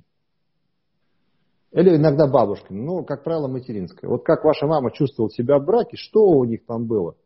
У вас, казалось бы, драк никаких нет, но вы такое ощущение, что вы этот диафильм до сих пор смотрите. Но поскольку а, картинка эта не соответствует тому, что происходит, конфликт в теле запускается. И вам некомфортно живется, будучи замужним. Понимаете, о чем я говорю? Да, То я понимаю. Несоответствие такое идет. И э, эта вся тревога у вас бродит внутри, и вы не можете никак понять, что она вами владеет. Хорошо, давайте это отработаем. Угу. Итак, Даша, скажите себе, мне один день, я в животе у своей мамы. Мне один день, я в животе у своей мамы. Как там ощущение? Да хорошо, вроде спокойно. Представьте, что в этот момент к вам приходит Бог и говорит, дорогая Даша, в твоей жизни получится так, что у твоих родителей будут ужасные отношения. Когда ты будешь подростком, когда тебе будет 14 лет, твой папа будет частенько напиваться, тратить заначки, которые вместе с, с мамой они будут оставлять, проигрывать их в автоматах. И во время э, этих разборок по вечерам твоя мама будет душить твоего отца и он несколько раз будет реально задыхаться. И тебе будет страшно в этот момент. Но это все для любви, для радости и для счастья. Это для того, чтобы в этот самый миг в тебе бы открылся дар безусловной любви, и ты стал бы получать огромное удовольствие от того, что ты живешь. Это для того, чтобы ты почувствовал себя абсолютно счастливой, самодостаточной и уверенной в себе девочкой, а в будущем женщиной. Это для того, чтобы у тебя были самые комфортные, гармоничные, счастливые семейные взаимоотношения, от которых ты будешь испытывать огромное удовольствие. Это для того, чтобы ты чувствовала свою психику гармоничной, счастливой, заряженной на позитив. Это для того, чтобы ощущение любви просто так и без всяких условий сопровождало тебя на протяжении всей твоей жизни. Как ощущение? Ну, хорошо сейчас. Ну, как-то легче, что ли. Так, Даш, мне 14 лет, мама душит папу. Как ощущение? Вечер. Ну, как-то отстраненно вроде. Отстраненно. Так. Я захожу в магазин, а, э, беру орешки, начинаю их кушать. Как ощущение? Пока страшно. Страшно как? Ну, с улыбкой страшно уже стало. Ну, ешьте дальше, что происходит? Ну, пока ничего не происходит. Угу. Жуйте, там, второй орех берете, третий, как ощущение? Ну, настороженно все равно. Настороженно как? Ну, вот, э, думаю, есть, не есть. А ну, вот, что? ну, вот кушайте, что дальше происходит? Ничего не происходит, все нормально. Горло как, как горло? А, нормально, кстати. Нормально. Но вы улыбаться стали, вы только это не заметили, Наш. С улыбкой бред человеку не приходит. Только маниакальное состояние возникает, которое mm-hmm. у, вас сейчас его нет. Не переживайте. А, хорошо. Ну, но я довнушу кое-что, да, чтобы совсем все закрепилось, и потом еще раз проверим. Итак, Даш, скажите себе, мне один день я в животе у своей мамы, мама не знает, что она беременна. Как вы себя там чувствуете? Да нормально, спокойно. В тихо. этот момент представьте, что к вам приходит Бог и говорит, дорогая Даша, в твоей жизни получится так, что однажды, когда тебе будет 20-21 год, ты пойдешь к стоматологу, и а, стоматолог будет ругаться со своими помощницей в тот момент, когда у тебя будут промывать зуб. И часть этого лекарства попадет тебе на горло. И тебе будет от этого очень сильно некомфортно. Ты даже испугаешься за то, что ты можешь, у тебя может возникнуть удушье или какое-то отравление – что то, что происходит, это не совсем правильно для тебя и для твоего здоровья. Но все это для любви, для радости и для счастья.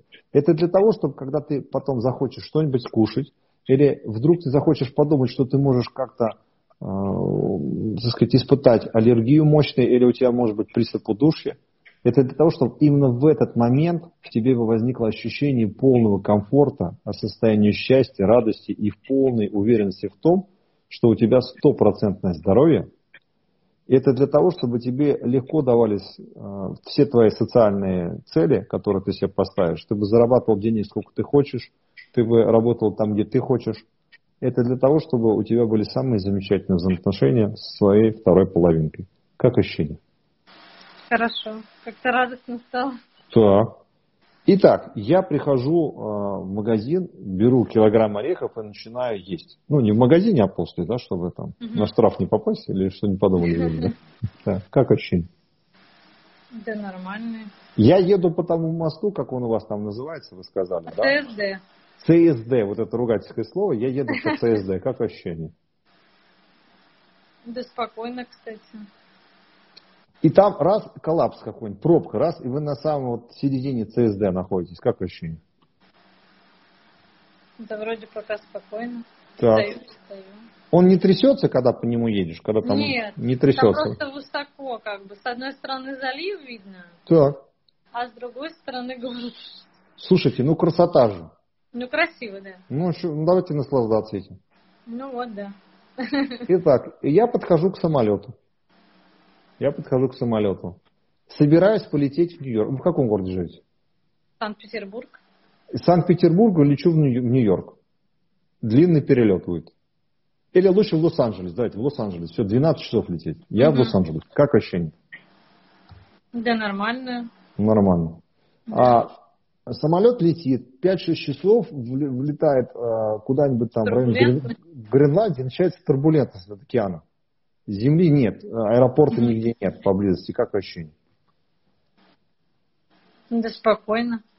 спокойно. Тем более, что я летала в Америку в детстве, ага. и все нормально так. проходило. Ну, прекрасно. Турбулентность была. И... Ух, Даш. А, мой дедушка а, получает анафилактический шок. Как ощущение?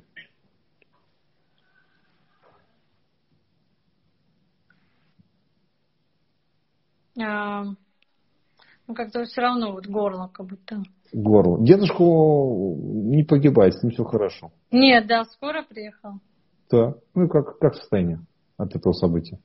Да нормально. Да нормально. Ну еще здоровый мужик а, во время войны родился, все у него будет хорошо. Ну да. Но таких пахать еще можно.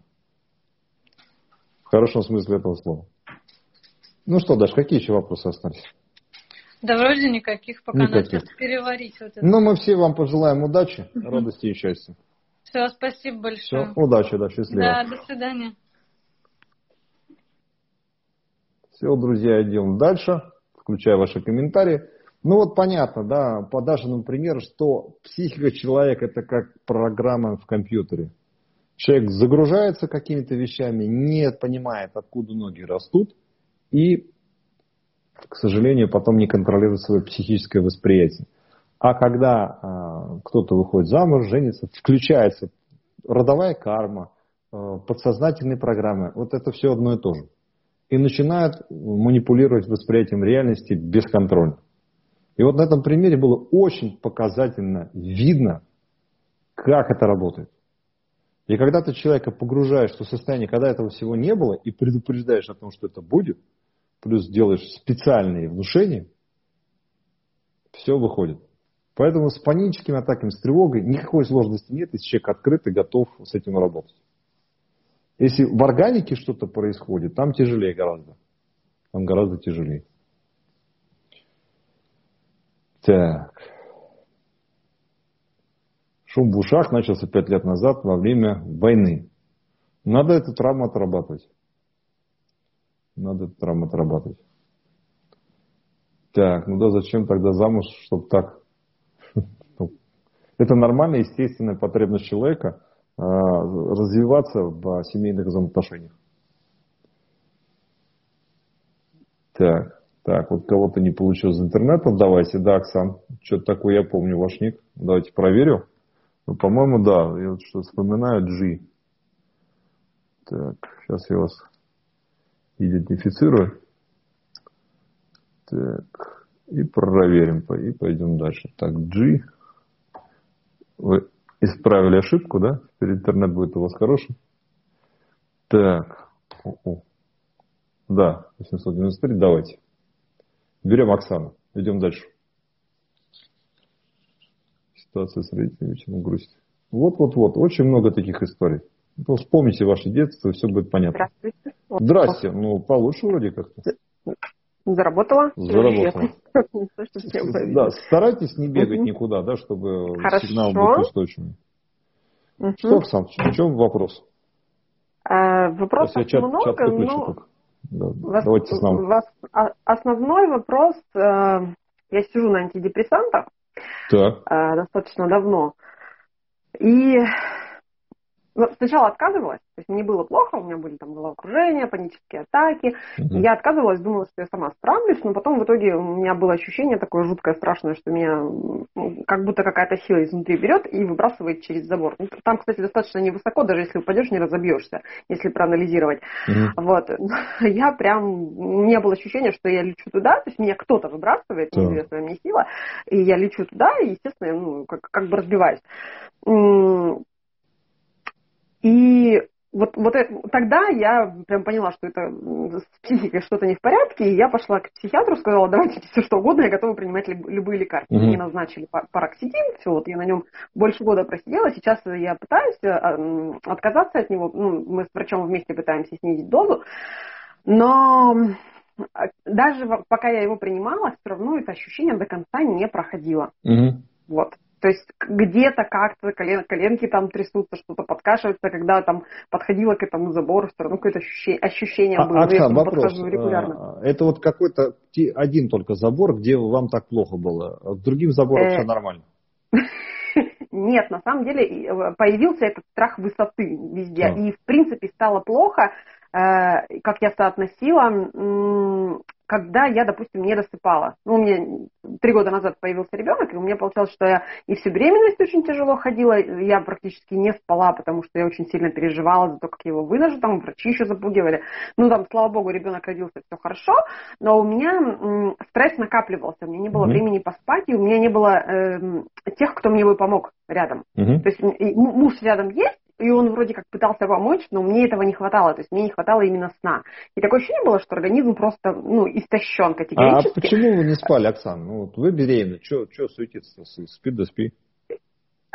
Казалось бы, я не ну, знаю, ну. я не могла спать. То есть, ну, и, и иногда, конечно, да, когда я там попадала в больницу, были когда проблемы с угрозой выкидыша, вот, тогда я переживала из-за этого.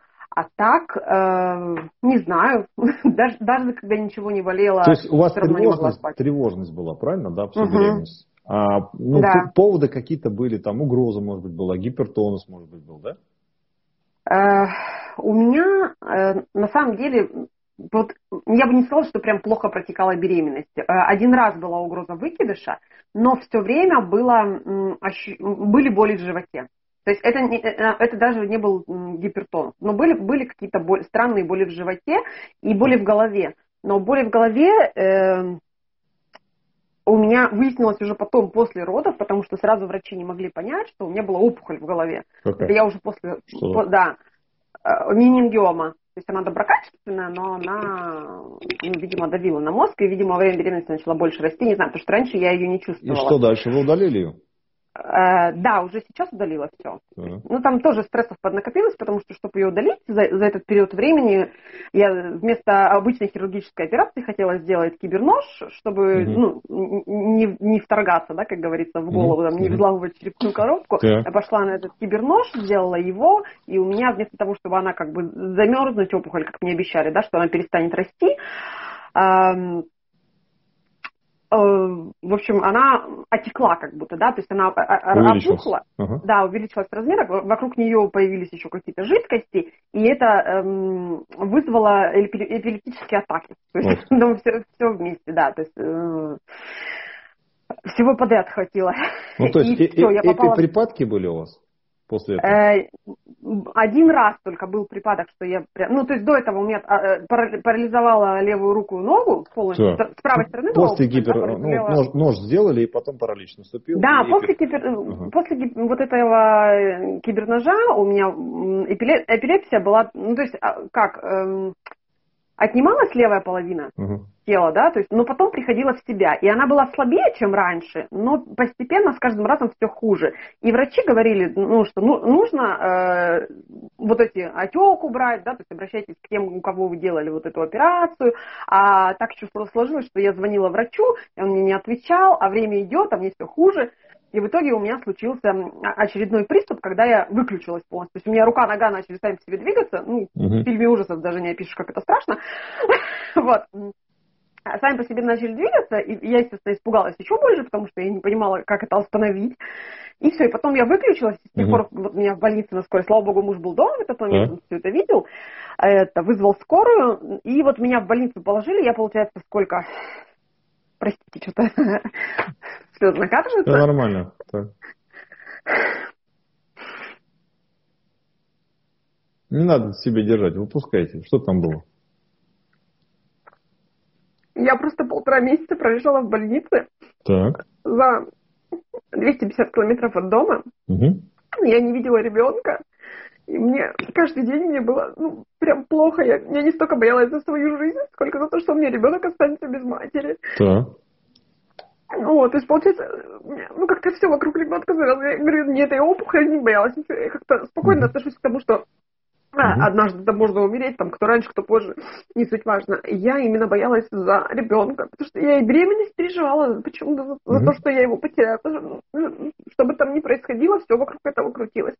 Однажды потом прям перед, ну, меня долго держали, потому что там в очередь ставят на операцию. И мне вот пришлось полтора месяца фактически ждать. Ну, до операции э, месяц, две недели, да, и потом еще две недели после.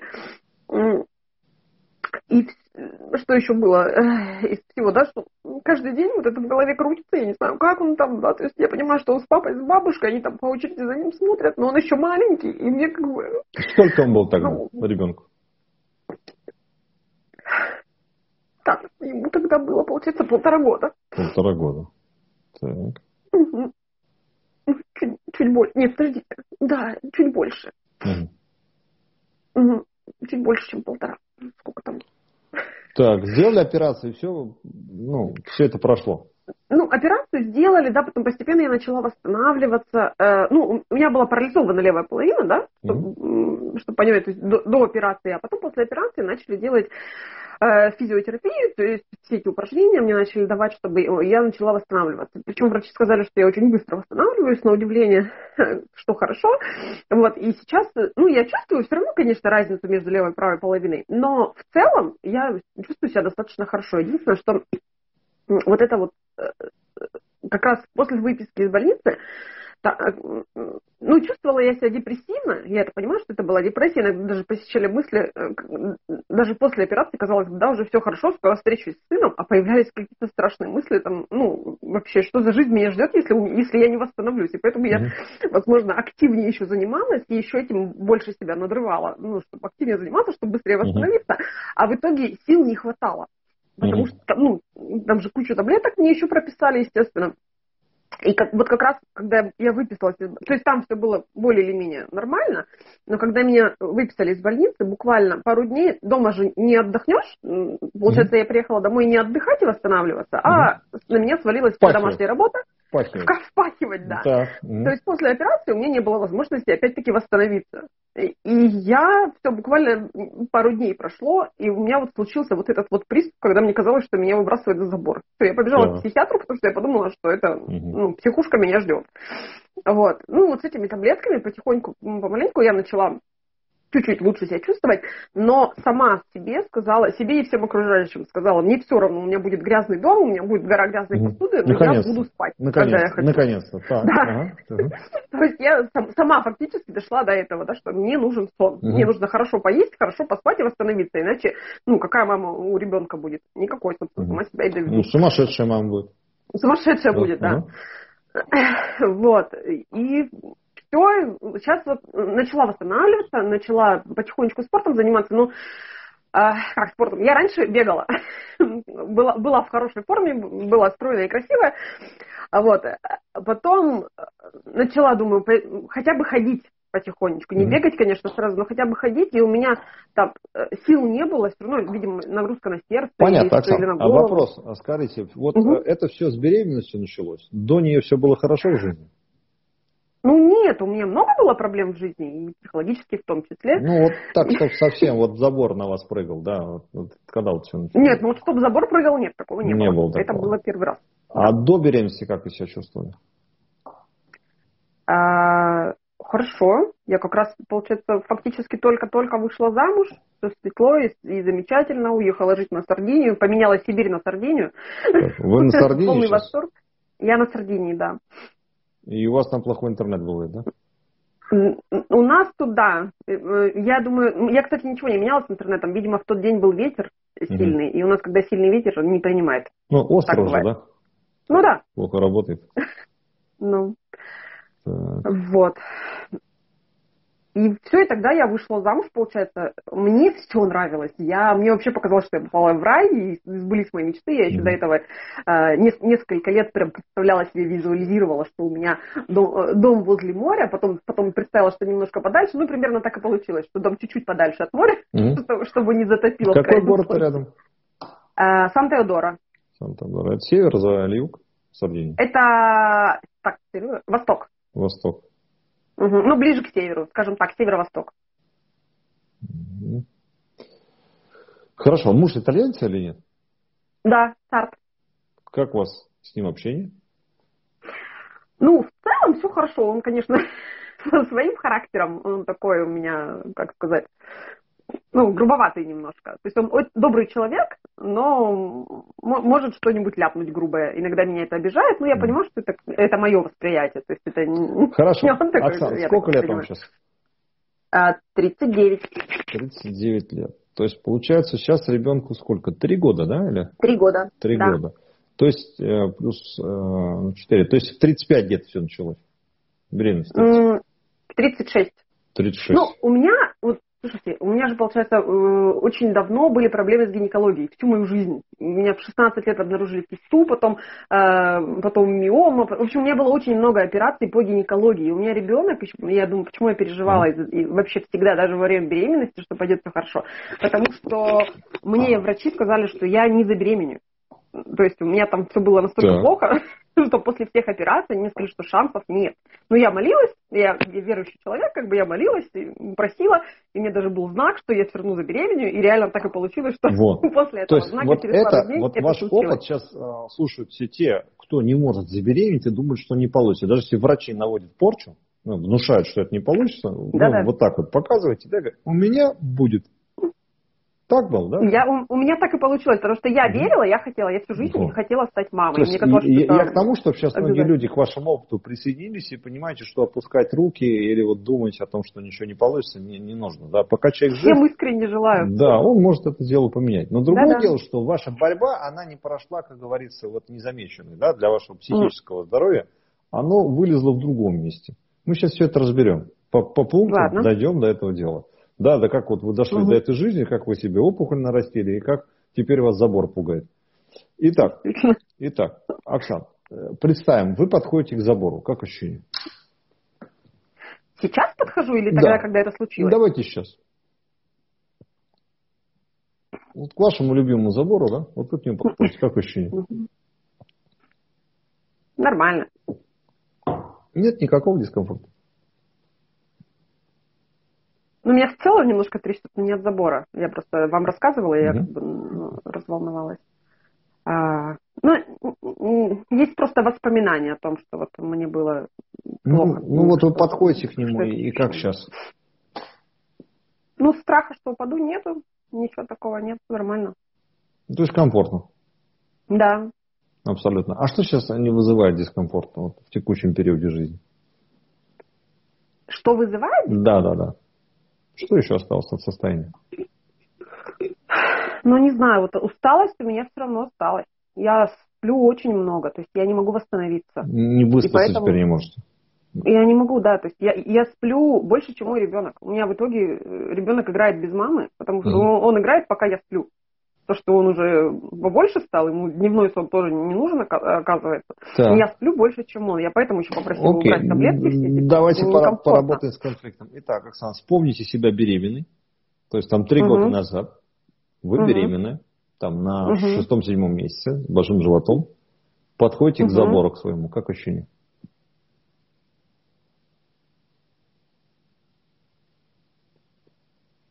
Нормально. Нормально. А, наступает, да. наступает вечер. Вы беременны. Три года назад. Угу. Ложитесь на кровать. Как ощущение? Так. Все тянет, болит, так. некомфортно. Так. Спится? Нет. Что в голову лезет? Что что-нибудь случится. С кем? С ребенком, как со мной. Как я это чувствую в своем теле, эту мысль? Напряжение. Где? Напряжение в животе. В животе. Напряжение в голове. Где больше, в голове или в животе? В животе. В животе. Итак, угу. сконцентрируйтесь на этом ощущении в животе. И можете голову тоже иметь в виду. Пойдем в прошлое, посмотрим, когда это образовалось. Скажите себе, мне 30 угу. лет. Есть это ощущение? Мне 30 лет. Да.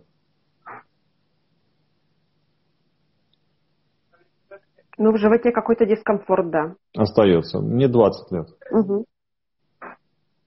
Мне 20 лет.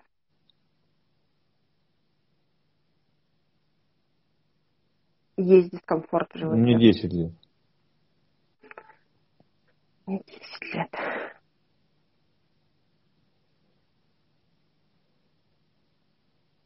Да. Мне 5 есть, лет. Есть дискомфорт. Мне 5 лет. Мне 5 лет. Да. Мне один год. Не один год.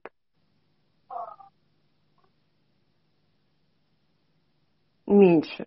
На сколько процентов? На сколько процентов меньше? Ой, намного. Прям как будто не, не так, не знаю, процентов 30 осталось. Осталось. Мне один месяц в животе у мамы. Как ощущение? Мне один месяц я в животе у мамы.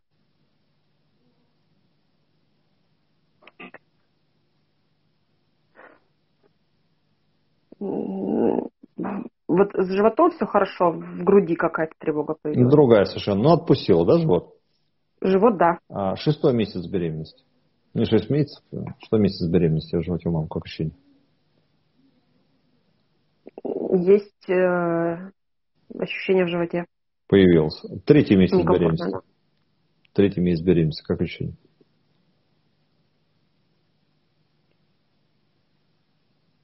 Есть ощущение. Второй месяц.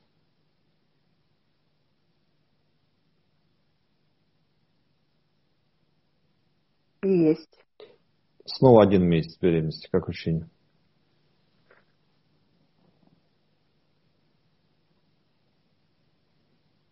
Нет, месяц нет. Нет. То есть в один месяц нормально, во второй появляется. Что такого угу. произошло во втором месяце беременности, когда вы лежите у мамы? Я не знаю. Что я вспоминаю в этот момент? Мне два месяца, я в животе у мамы, и что-то связано с этим ощущением, которое рождается в моем животе, происходит в этот момент. Что я вижу? Что я чувствую? Да, без понятия. Мне два месяца, я в животе у мамы, и что-то в этот момент происходит, связанное с этим ощущением. Ну, я, слушайте, сейчас пришло в голову, я, это не ощущение, это воспоминание. Я да. помню, что мама говорила, что она хотела сделать аборт. Да. Что она, когда узнала, что беременна вторым ребенком, угу. они, они хотели сделать аборт, потому что думали, что не потянут двоих. Я да. вторая дочь в семье. Не потянут. Ну, вот, может, да. может это, не знаю. Да. Еще, и еще что? Ну, они когда об этом узнали? -то? Мама, когда поняла, а, что... не знаю. Это очень важно. Ну, Какая разница между первой и второй дочерью? Ну, э, год и семь. Год и семь. Год и семь. Угу. Так, если год и семь разницы, то есть получается, мама вами забеременела, ей было тогда, угу, то есть получается год и семь, девять месяцев, то есть э, было десять месяцев где-то, да, вашей сестренки? Сестры, ну, наверное, да, так получается. Месяцев десять. Мама кормила угу. грудью? Да. Да, она кормила грудью мою сестру и еще мою двоюродную сестру, потому что у нее мама умерла, и вот она кормила грудью двоих. Ну, круто. Это, да. да. Скорее всего, ваша мама не сразу поняла, что она беременна. Возможно. Ну, это же логично. Знаю, ну, когда, когда женщина кормит грудью, у нее не всегда сразу восстанавливается цикл, а порой даже его и год и больше не может и не быть, если она кормит все это время грудью. А. Поэтому, когда месячных нет и нет, она может и не понимать, что беременность наступила. А. Таких историй полно в моей практике. Поэтому угу. обычно женщина, когда беременна, она на первом месяце понимает, что что-то поменялось, да? А тут на втором. Понимаете, включилось это ощущение. Поняла, да. Оно нелегкое не положение, да, Корм, мама кормит двоих детей, а второй ребенок от того, что там, ну, так сказать, там женщина погибла, и она тоже берет на себя это ответственность. И тут еще прилетает третья душа, и что с ней делать? Угу. Да. И куча, куча страхов возникает с беременностью. Возможно, да. Так, ну... Они, ну, потому что я помню, что мама говорила, что да, они именно вот это они думали, что мы просто не потянем вот. еще одного ребенка, потому что вот. финансово было не очень хорошо жили. Мы просто ее не потянем. заставила, моя, да, ее заставила моя бабушка, так. ну ее мама, а заставила оставить меня в живых, потому что сказала, ничего страшного, я семерых вырастила, а вы что, двоих, не, ну, если что, то поможем, семья большая. То есть двоих угу. это не так уж и много, да, то есть вы, э, ну, ну по сравнению с, с семью, конечно, так, начальный уровень. Да. Да, ну, тем не менее, мы не знаем до конца. Вот меня оставили. Окей, давайте с этим поработаем, потом проверим, к чему это привело. Итак, корите себе. Давайте. Оксана, мне один день, я в животе у своей мамы мне один день, я в животе у своей мамы. Как там ощущение? Хорошо. В этот момент представьте, что приходит вам Бог и говорит, дорогая Оксана, в твоей жизни получится так, что когда твоя мама узнает, что он тобой беременна, она будет думать о том, чтобы сделать аборт. Но твоя бабушка настоит на том, чтобы тебе оставили жизнь. Потому что твоей маме будет очень тяжело. Но все это к любви, к радости и к счастью. Это для того, чтобы ты себя почувствовал абсолютно счастливой, самодостаточной и уверенной в себе женщиной в будущем. Это для того, чтобы у тебя в будущем легко и просто протекала беременность, и ты бы рожала, а, зачинала бы и рожала детей сколько, сколько захочешь, получая от этого огромное удовольствие. Это для того, чтобы у тебя на душе всегда был комфорт, состояние любви и счастья. Это для того, чтобы дар безусловной любви, который откроется у тебя в момент того, когда мама поймет, что она беременна тобой – и будет управлять твоим мироощущением всю твою жизнь, доставляя тебе огромное удовольствие. Как ощущение? Ой, простите, я... Что, нормально все? Ну вот от таких вот эмоций опухоли в голове появляются, понимаете, да? И потом ну, сумасшествие возникает, когда забор падает.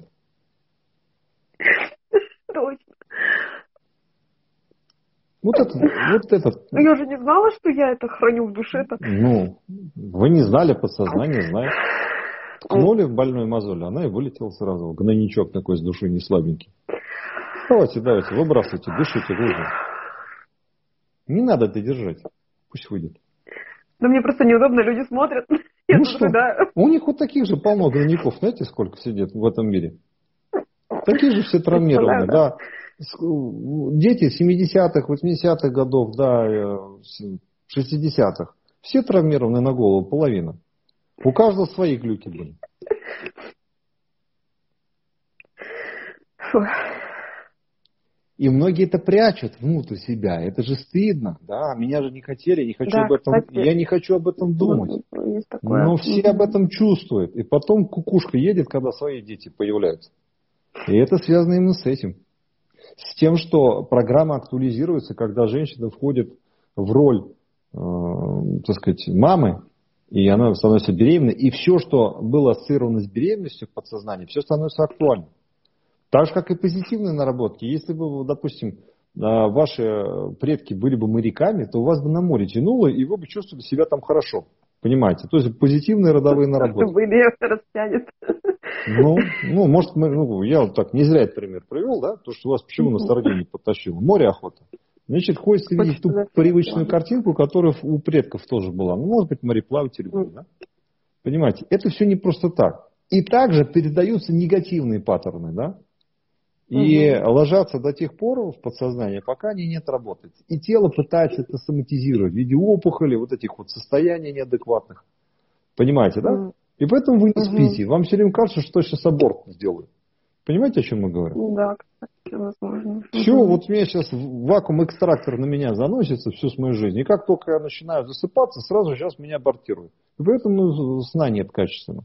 И когда вы даже приняли решение спать, все равно этот конфликт сидел внутри и вам мешал расслабиться.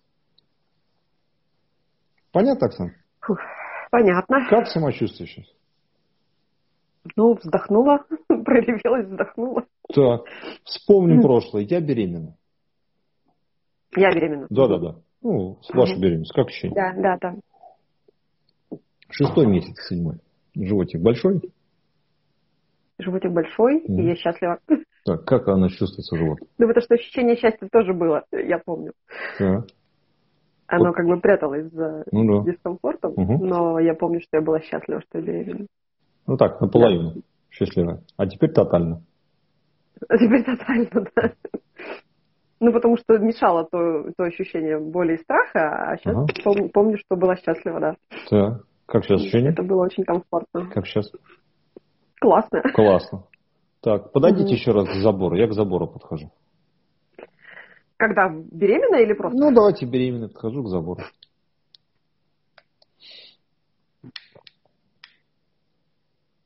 А, все хорошо. На, месте, на месте стоит все, Никакого да? страха. Да, да, да. Я, в принципе, никогда не боялась высоты. Mm? Я не знаю, почему у меня это случилось.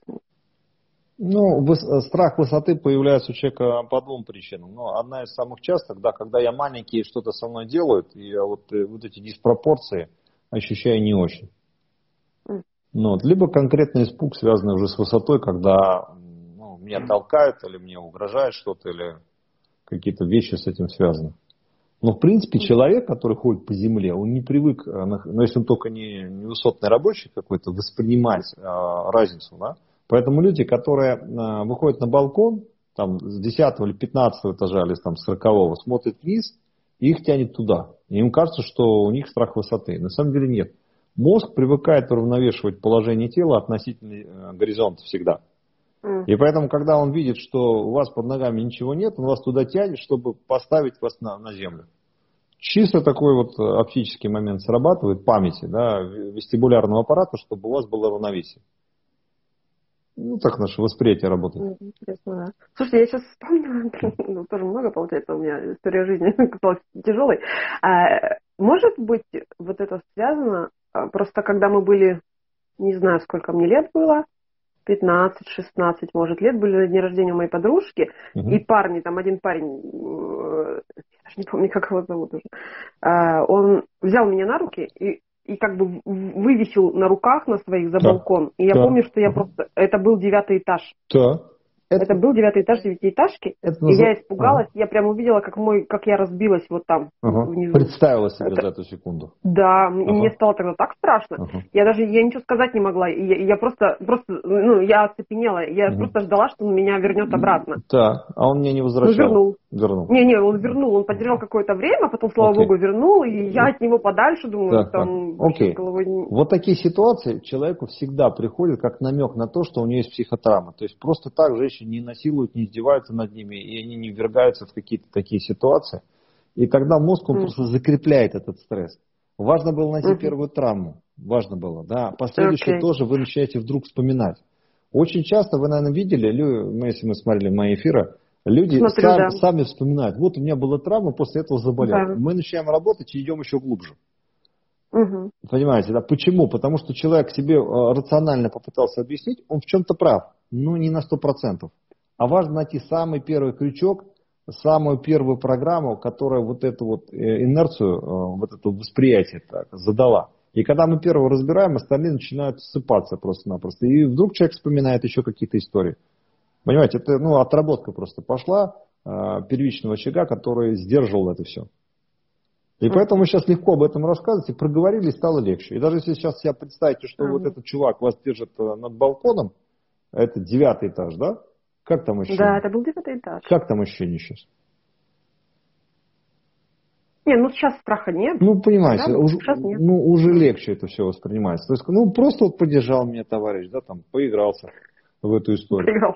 То есть нет этой включенности. Если бы мы вспомнили это до этого момента, вы бы рассказывали это со страхом. Понимаете, о чем мы говорим? Mm. А когда mm-hmm. основу страха убираешь, что над вами вот силы вселенной под названием родители, да, которые мама, mm-hmm. мама, Бог для меня в этот момент думает о том, чтобы меня убить, и я это чувствую, то тогда я не управляю всей вот этой огромной вселенной вокруг меня. Mm-hmm.